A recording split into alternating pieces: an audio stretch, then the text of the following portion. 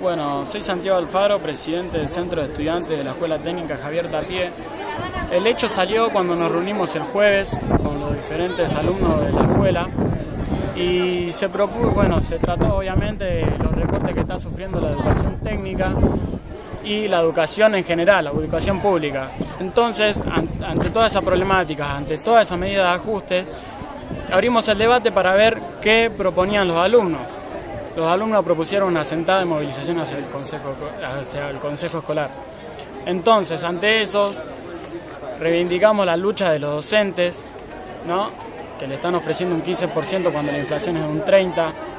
Entonces, también reivindicamos la lucha de las universidades que están, hay alrededor de 57 universidades de paro por todos los ajustes que está sufriendo.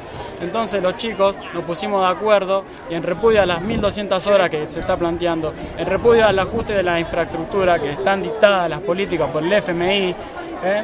en repudio a todo eso salió esta movilización y esa sentada, para, para que la gente mire todo el entorno de la escuela pública y que los, que los estudiantes lo escuchen, que escuchen la voz de los alumnos, se escuchen, que no los callen más. Y bueno, estuvieron hablando con consejeros escolares, ¿qué, qué, qué, qué, balance hacen de la, de la charla?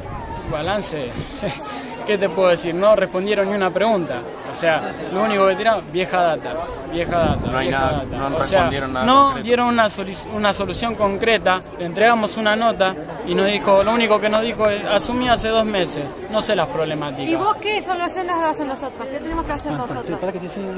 Y ahora, bueno, nosotros como centro de estudiantes, Javier Tapié, proponemos organizarnos, reunirnos, tratar los temas, concientizar para que la gente esté al día con todas las políticas y medidas de ajuste que impulsa este gobierno.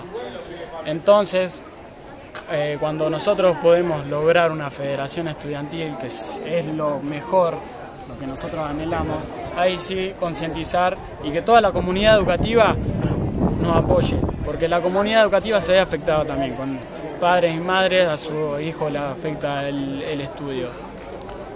¿Alguna pregunta? digamos, ¿En la escuela ustedes ya tienen clase ahora? Eh, van, a, van, a... van a abrirla para alguna, para alguna parte de la escuela, la van a abrir el viernes para los ciclos superiores. O sea, hay ciclo básico y ciclo superior en la escuela Javier Tapié. Hay dos edificios, uno viejo, uno nuevo.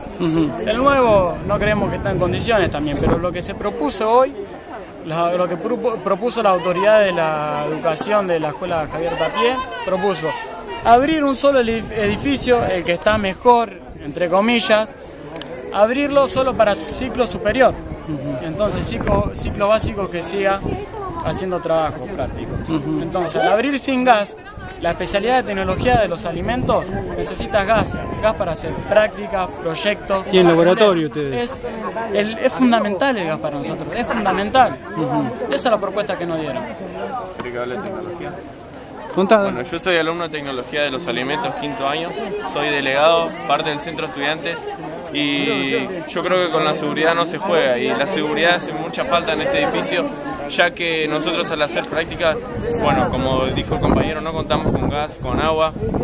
En los laboratorios que se inauguraron en la parte supuestamente nueva que viene a inaugurar el intendente, no hay habilitación de agua, los matafuegos están vencidos en 2016, o sea que esto no es algo que pasó ayer, que se vencieron en el 2017 o el 2018. Es algo consecutivo que son las causas de las políticas que se están tomando. Otro otra temática son las duchas de emergencia, porque nosotros trabajamos con ácidos todo el tiempo, sustancias químicas reactivas muy peligrosas. Entonces, hace falta una ducha de emergencia y matafuegos.